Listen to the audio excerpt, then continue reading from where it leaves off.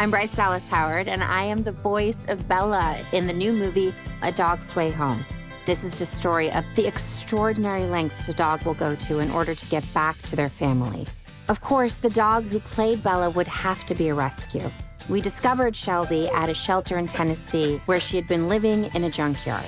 Immediately, you could tell that Shelby was going to take us on an amazing journey. She's incredibly spirited, affectionate, and bright.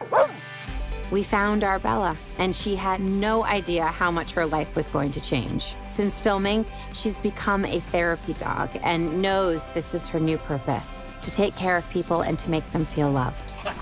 Join me and Shelby on our adventure in A Dog's Way Home in theaters January 11th.